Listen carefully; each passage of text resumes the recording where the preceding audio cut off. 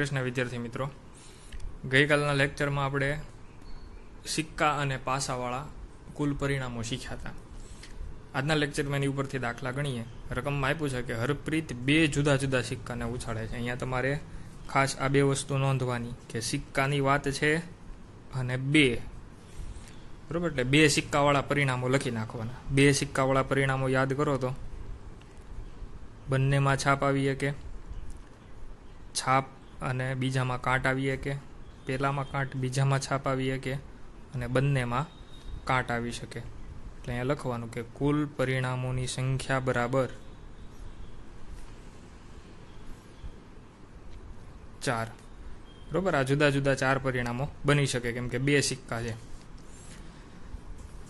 તો ઓછામાં ઓછી એક છાપ મેળવવાની સંભાવના કેટલી થાય? બરોબર? ગઈકાલે આની ઉપર ચર્ચા કરી હતી કે ઓછામાં ઓછી એક છાપ એનો મતલબ શું થાય? તેનું અર્થઘટન કંઈક આવું કાઢી શકાય કે ઓછામાં ઓછી એક, એટલે કે એટલીસ્ટ મિનિમમ એક તો જોવે જ તે. બરાબર? એક કરતાં વધુ હોય તો હાલશે, પણ એકથી ઓછી નહીં. બરોબર? ઓછું શબ્દ વાપરો હોય તો એનથી ઓછું નહીં. વધુ શબ્દ વાપરો હોય તો વધુ નહીં. બરાબર? ઓછામાં ઓછી એક, એટલે કે એક કરતાં ઓછી નહીં. એક કે એના કરતાં વધુ હોય ને, તો હાલે. એટલે કે જેમાં એક છાપ હોય એવા પરિણામય ગણવાના અને એક કરતાં વધુ છાપ હોય ને એવા પરિણામય ગણવાના. આમાં બે છાપ છે, એટલે આ પરિણામ ગણાશે. આમાં એક છાપ છે, એટલે આ પણ ગણાશે. સમજો એક કે એની કરતાં વધુ હોય એવા બધા પરિણામ ગણી નાખવાના. એક હોય એવાય ગણવાના, એની કરતાં વધુ હોય એવાય થાય. એટલે આને ગણ્યું, આ પરિણામ પણ ગણ્યું. આમાં એક છાપ છે, એટલે આ પણ ગણાશે. આમાં એક પણ વખત છાપ નથી, એટલે આ પરિણામ ગણવાનું નહીં. તો અહીં આપણે લખીએ, ઘટના એ કે ઓછામાં ઓછી એક છાપ મળે. બરાબર? પછી સૂત્ર લખવાનું. કે ઘટનાએ ઉદ્ભવે તેવા પરિણામોની સંખ્યા છેદમાં કુલ પરિણામોની સંખ્યા. કુલ પરિણામો અહીંયા ચાર છે. એમાંથી ઘટના ઉદ્ભવે એવા, એટલે કે ઓછામાં ઓછી એક છાપ હોય એવા ત્રણ પરિણામો આપણને મળ્યા છે, એટલે અંશમાં આવશે ત્રણ. બરાબર? એ લખવાનું કે ઓછામાં ઓછી એક છાપ હોય તેવા પરિણામોની સંખ્યા બરાબર ત્રણ. અને એ કયા કયા છે? તો કે એચ એચ એચ ટી અને ટી એચ બરાબર? બધા દાખલામાં વિગતવાર લખવું જરૂરી છે પરિણામોની સંખ્યા. કુલ આવતા હોય કુલ પરિણામો લખવાના. ઘટના ઉદ્ભવે હોય એવા પરિણામોની સંખ્યા લખવાની અને એ દર્શાવવાની. તે કઈ કયા કયા છે? અને પછી ઘટના, સૂત્ર અને જવાબ. બરોબર? પછીનો દાખલો. રકમમાં આપણને કીધું છે કે એક ભૂરા કલરનો અને એક રાખોડી કલરનો. એમ બે પાસાને. ખાસ તમારે નોંધવાનું કે પાસાની વાત છે અને એ પાછા બે છે. એટલે બે પાસાવાળા પરિણામો યાદ કરવાના. બરાબર? જે આપણે ગયા લેક્ચરમાં શીખ્યા હતા. એક સાથે ઉછાળવામાં આવે છે. એટલે બે પાસા ઉછાળીએ છીએ, એટલે પહેલાં પાસાનું ને બીજા પાસાનું. એમ એક આરોર બબ્બે પરિણામો મળશે. બરાબર? પહેલા પાસાનું, બીજા પાસાનું. પહેલા પાસાનું, બીજા પાસાનું એમ કરી અને બધા જે શક્ય પરિણામો છે એ આપણે લખશું. અને રકમમાં કીધું છે કે શક્ય પરિણામો લખો. આ શક્ય પરિણામો લખવાનો તે માર્ક હોય. એટલે ફરજિયાત બધામાં પરિણામો તો લખવાના જ તે. જેમ આમાં આપણે આ ચાર પરિણામો લખ્યા હતા. આમાં બે પાસા છે, એટલે એના આપણે જે ટોટલ છત્રીસ પરિણામો આપણે શીખ્યા હતા ગઈકાલે. એ છત્રીસે છત્રીસ પરિણામ ફરજિયાત લખવાના.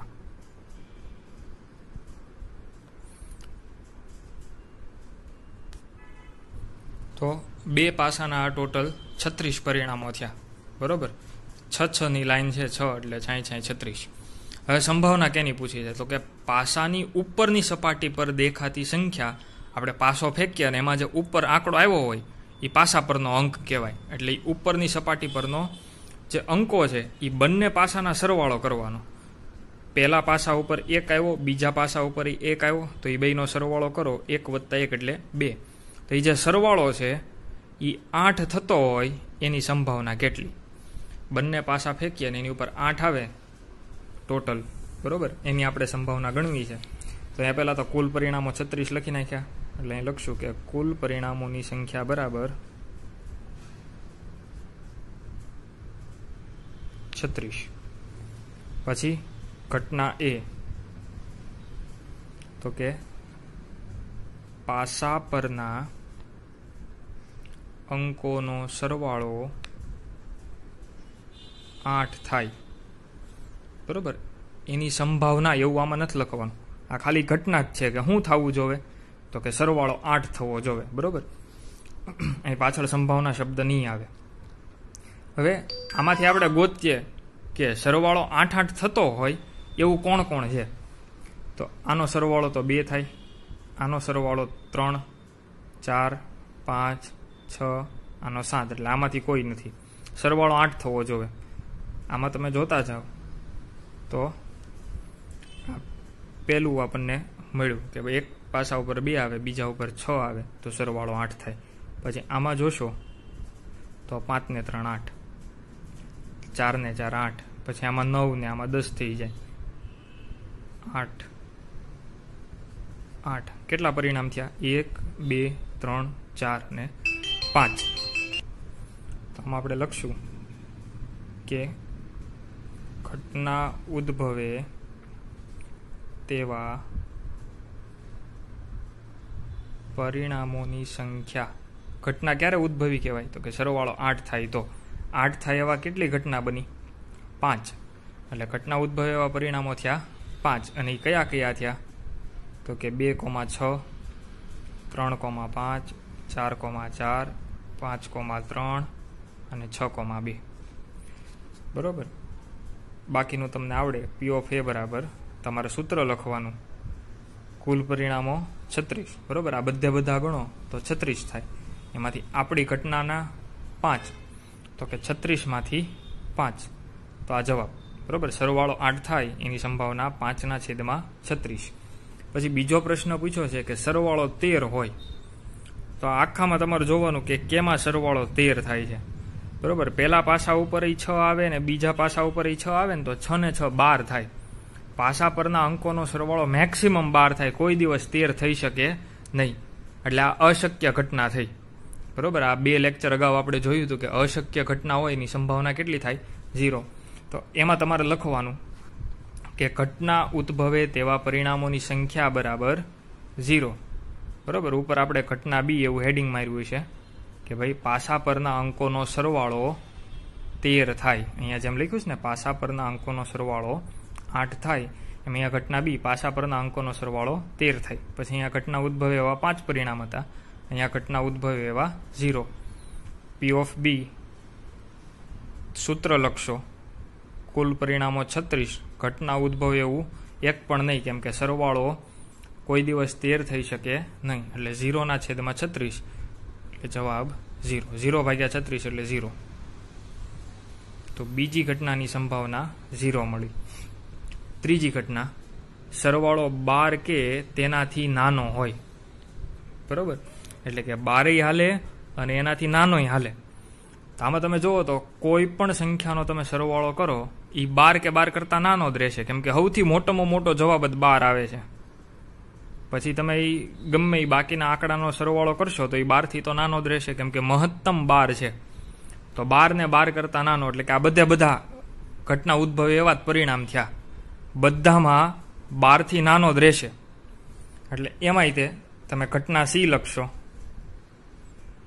પાસા પરના અંકોનો સરવાળો બાર કે તેથી નાનો હોય. ઘટના ઉદ્ભવે તેવા પરિણામોની સંખ્યા બરાબર છત્રીસ. પી ઓફ સી બરાબર સૂત્ર લખવાનું. કુલ પરિણામ છત્રીસ અને છત્રીસમાંથી છત્રીસે છત્રીસ પાસ થઈ ગયા. કેમ? કેમ કે સરવાળો બારથી નાનો કીધો હતો બધે બધામાં બાર કે એનથી નાનો જ થતો હતો એટલે છત્રીસ હતા, એમાંથી છત્રીસે છત્રીસ પાસ થઈ ગયા. બરોબર? આપણી ઘટના પ્રમાણેના છે, છત્રીસે છત્રીસ. છત્રીસ છત્રીસ ઉડી જાય, એટલે એક જવાબ. બરોબર? આ ચોક્કસ ઘટના થઈ કહેવાય.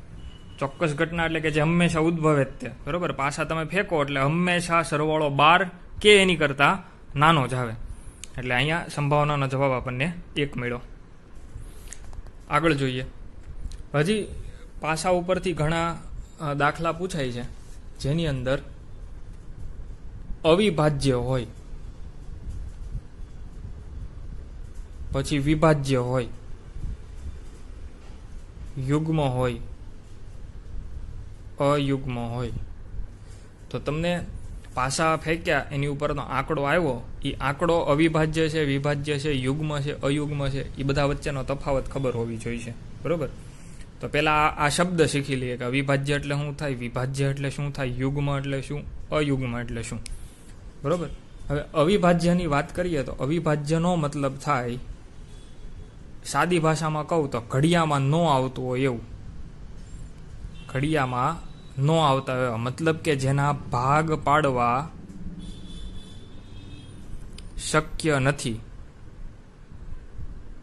બરોબર? જેના ભાગ ન પડતા હોય એ બધી અવિભાજ્ય કહેવાય. અવિભાજ્ય. બરોબર? એટલે કે ભાગ ન પડી શકે એવી.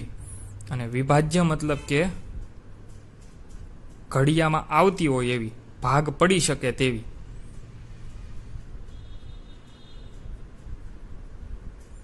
ભાગ પાડવા શક્ય અને આમાં ભાગ પાડવા શક્ય નથી.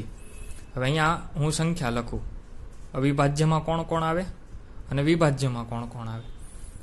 અવિભાજ્યની અંદર બે, બરાબર? જો બેમાં ઘણા ભૂલ કરે છે, બે અવિભાજ્ય સંખ્યા કહેવાય, બેના ભાગ ન પડી શકે. ત્રણ અવિભાજ્ય, બરાબર? પછી ચારના ભાગ પડી જાય. શું ભાગ પડે? બે દુ ચાર. બરાબર? એટલે એ આવશે વિભાજ્યમાં. પાંચ, સાત, પછી અગિયાર. નવ નહીં આવે. ત્રણ તેરી નવ. એટલે નવ આમાં ન આવે. બરોબર? આ એકી બેકી નથી. ઘડિયામાં આવે એવી ને ઘડિયામાં ન આવે એવી. એ પ્રકારનું વર્ગીકરણ છે. ભાગ પડે એવી, ભાગ ન પડે એવી. તો આ બધી ભાગ નથી પડતા. બરોબર? પછી તેર. ચૌદના ભાગ પડે.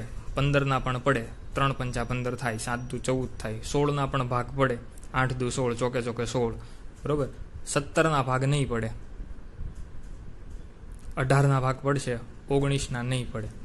તો આ પ્રકારની બધી સંખ્યાઓ છે એને અવિભાજ્ય કહેવાય.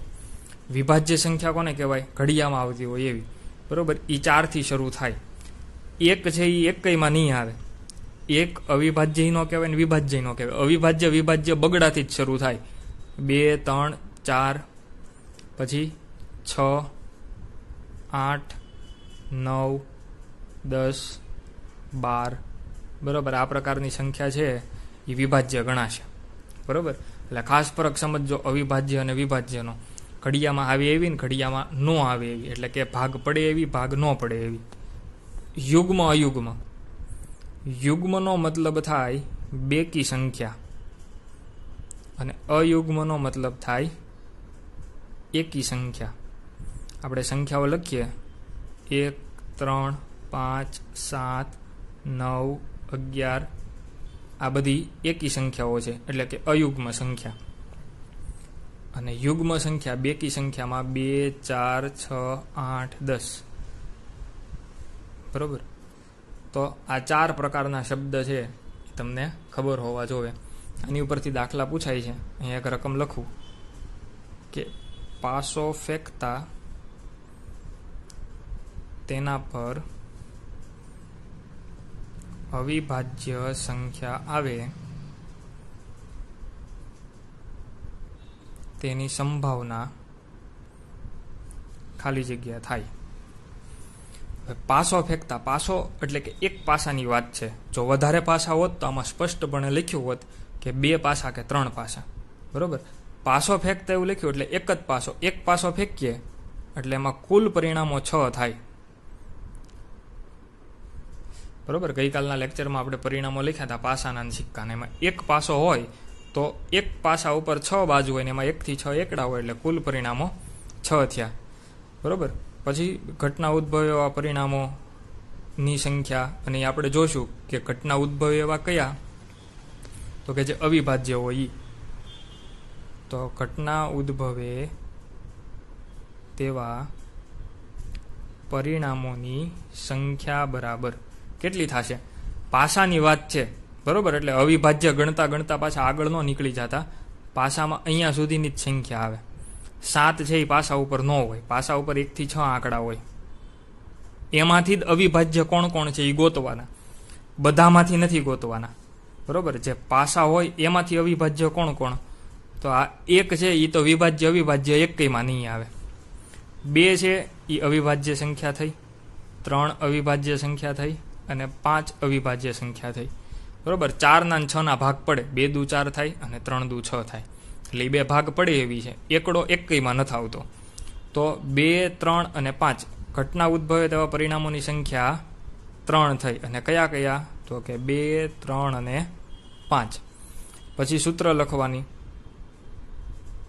પી એ કુલ પરિણામો છ. એમાંથી ઘટના ઉદ્ભવે એવા ત્રણ. છેદ ઉડાડો. એટલે એકના છેદમાં બે જવાબ. બરોબર? આવું આવું અવિભાજ્યની બદલે જો વિભાજ્ય માટે પૂછાણું હોય, તો કુલ પરિણામો છ અને આમાંથી વિભાજ્ય ભાગ પડી શકે એવા બે પરિણામો થયા. એટલે એની માટે અંશમાં આવશે બે, છેદ ઉડાડો. એટલે એકના છેદમાં ત્રણ જવાબ મળશે. બરોબર? તો આવા અવિભાજ્ય, વિભાજ્ય, પછી એવું પણ પૂછી શકાય કે બે અને છ વચ્ચે હોય. બરોબર? પાસો ફેંકતા તેના પરનો અંક બે અને છ ની વચ્ચે હોય. વચ્ચે શબ્દ વાપરો છે, એટલે બગડોય નહીં છગડોય નહીં, એની વચ્ચે હોય ઈતે તો. બગડા અને છગડાની વચ્ચે કયા કયા આંકડા આવે? ત્રણ, ચાર અને પાંચ. તો ઘટના ઉદ્ભવ એવા કેટલા થયા? ત્રણ. કુલ પરિણામ કેટલા હોય? છ. બરોબર? પાસા ઉપર એકથી છ આંકડા હોય, એટલે કુલ પરિણામ છ. અને બે અને છ ની વચ્ચે તો વચ્ચે કોણ હોય? ત્રણ, ચાર અને પાંચ. એટલે એવા ત્રણ પરિણામો થયા. તો આ એની સંભાવના મળી. બરોબર? આ પ્રકારના દાખલા પૂછી શકાય. તમારે આ ચાર વસ્તુ યાદ રાખવાની છે. ખાસ અવિભાજ્ય વિભાજ્યમાં ભૂલ પડે છે વધારે. બાકી અયુગ્મ યુગ્મ તો ભાવ છે. બરોબર? આ બધું એક વખત લખવાનું રફમાં ફેરમાં. અને આજે ખાસ પાકા કરવા માટેનું જે કીધું છે, એ બધું યાદ રાખવાનું.